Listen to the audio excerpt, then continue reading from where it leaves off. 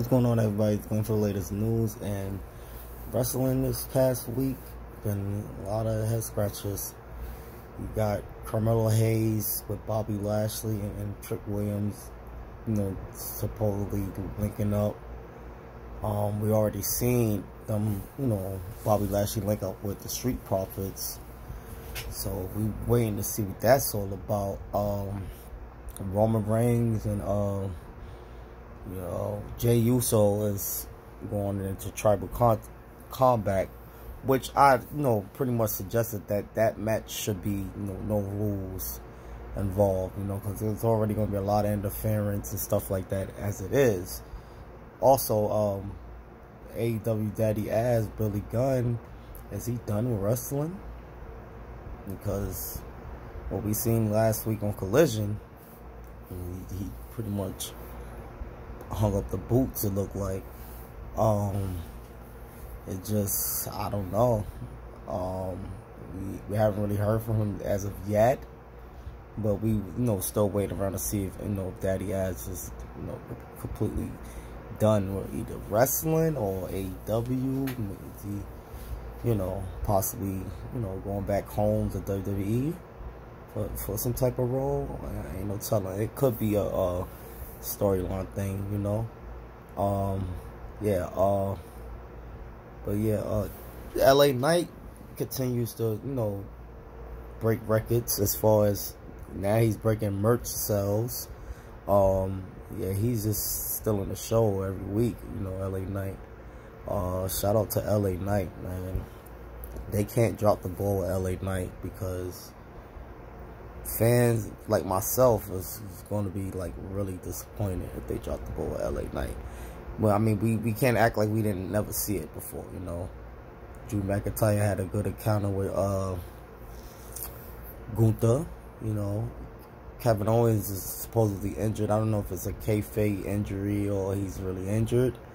But I'm hearing that he's really injured. Um, but yeah, uh, Gunther and uh, Drew had a good encounter on Raw. You know, good, you know, build up for their match.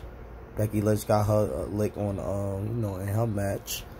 Uh, yeah, I'm not too sure about Kevin Owens and this injury thing, or whatever the case may be. But um, the Judgment Day continue to look good. Also, you know, they continue to look strong, along with Dirty Dom. You know, he he's you know stepping up to the plate. But I'm really just curious about this Bobby Lashley and, and Carmelo Hayes and Trick Williams and Street Profit thing, man. What, is this like a heel turn for the Street Profits? If that's what it's looking like, because it's looking like they they you know ain't gonna they coming in as heels, you know. Oh, and um, also AEW was great this week. You know, make sure you guys also go check out AEW. This past week, um, show was good. Um, last week Collision was good. Um, yeah, it was a, it was a great show AW. BB, um, BCC had a great match. And, um, yeah, it was just all around great um, week for wrestling. Um, I had to break it down for you guys like, you know, like this, you know, split because I've been trying to catch up with things. So I finally caught up with what I, you know, caught up with to give you guys an update on, you know, what's been happening and what you guys will go check out if, you know, also, um, you know, uh, what you call son, this guy, uh, Brian Pillman Jr., yeah. He's WWE bound. Um, he's supposed to be going to NXT. So that's a good look for him. But uh, this respect thing, what's going to happen this, you know, Friday, come, you know, this tribal combat thing that's going to happen between Roman and Jey Uso, you know. Can't wait to see what's going to happen this Friday. Uh, other news, Bobby Lashley want to possibly want a future match with uh, Batista. He got a lot of respect for Batista. And he respect what Batista did for the business, so he possibly want a future match with Batista. Probably a possible, you know, somewhere down the line WrestleMania. Because this is going to draw money, you know, let's face it. So, and, you know, Batista's all about his business, you know. He's, been all about his business for you know, since, you know, since he stepped into Hollywood or whatever. So, yeah, it's definitely gonna draw money. So I feel I feel like those guys should, you know, somewhere down the line make it happen.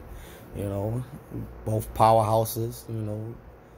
Oh, in other news, also, uh, Cody actually got real life heat with uh, Seth Rollins, or is this like kayfabe also? Because I'm hearing that he really got legitimate heat with Seth Rollins, and I'm hearing these rumors also that Bray Wyatt, the Fiend, for the possibly may have a possible match with Cody.